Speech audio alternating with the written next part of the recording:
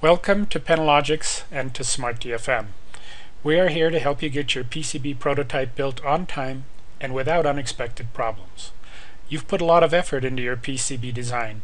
Now let's use SmartDFM to ensure that your design can be produced at the lowest possible cost. This is the first of several SmartDFM tutorials.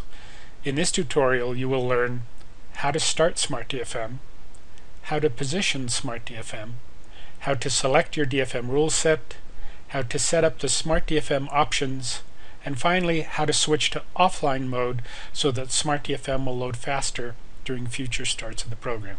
SmartDFM works with the following Pentalogix products. ViewMate, ViewMate Deluxe, and ViewMate Pro.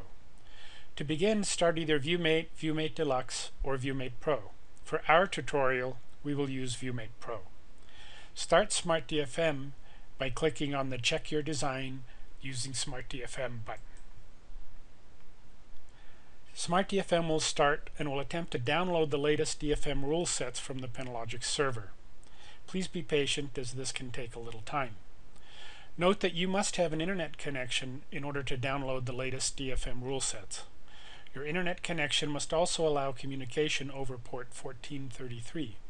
If this port is not open on your router, or if your firewall blocks this port, then you will not be able to download the DFM rule sets or get online quotes. If you have problems downloading the DFM rule sets, you can get more information from the following application note. When SmartDFM starts, you will see the SmartDFM user interface. We want to position the SmartDFM screen side by side with ViewMate Pro. Click on Setup and then click on Split Screen View. In response, SmartDFM will be positioned next to ViewMate Pro. Several DFM rule sets are available. For this tutorial, please ensure that the US QuickTurn PCB's DFM rule set is selected. To set up the SmartDFM options, click on Setup and then click on Options.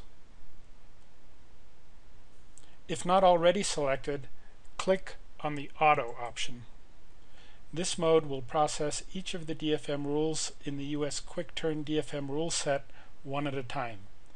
Processing continues automatically from one rule to the next.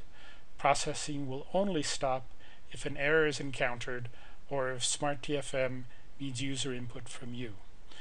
We recommend that you interrupt the process after the minimum web DFM rule is processed. Select the minimum web DFM rule from the stop after combo box.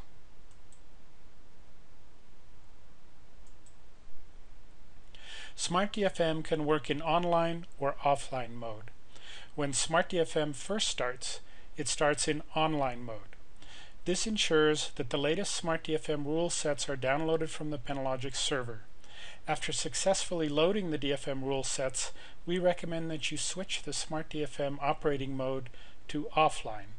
This will ensure that SmartDFM will load faster in the future as SmartDFM does not have to connect to the Pentalogix server on startup. To switch to offline mode, click on Quote and then click on Work Offline.